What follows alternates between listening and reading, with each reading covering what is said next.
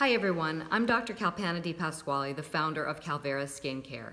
And I have to say that I am so grateful for the overwhelming response that we got to our Facebook ad. We had over 20,000 people request samples. And to be honest with you, KalVera is a small company that I founded because of the fact that I wanted people to have good products that were safe and effective to use on their skin, and I wanted them to be available at a reasonable price point. So that said, we're a small company and we were not expecting expecting to go viral overnight. We unfortunately, to be honest, ran out of samples. So we are working on a solution so that we can, you know, get to our customers and keep them happy. So please keep an eye on your email inbox and we will be sending information shortly. I hope you guys have a great day and again, thanks so much for the amazing support.